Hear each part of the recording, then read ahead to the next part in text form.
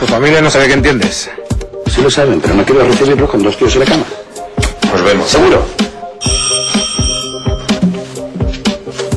Van a ser solo 15 días, ¿vas a poder soportarlo? Nos vamos a llevar muy bien, ¿a que sí? Te habrás dado cuenta de que es gay. Violeta, por favor, no digas tonterías. Bernardo, por fin solos. Hay hombres que recuerdan, hay hombres que mienten, hay hombres que prefieren no hablar,